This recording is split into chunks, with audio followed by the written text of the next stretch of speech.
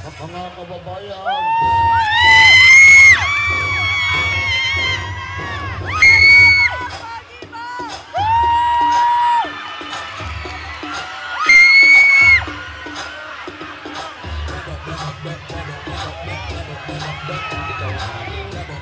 Babae